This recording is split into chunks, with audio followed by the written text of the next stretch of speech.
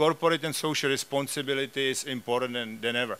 I'm involved in this field for probably 15 years, and I call it in my company the citizenship for growth. I do believe, and Adam Smith, you know, wrote it in his book Wealth of the Nations, that still profit and care can live together. Because the first thing you care, it's you, but the, the second thing is you care about the other. So I do believe that profit and care can live together money, more money will not buy you more happiness. Once you cover the basic things, it's the Maslow pyramid, right? It is about emotional intelligence, how you are connected with the other people.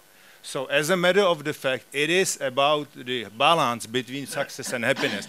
And while, you know, my boss, former boss Bill Gates, was a very successful businessman, he was not always very happy. And he started to be very happy once he started to give his money to the people who really need his money.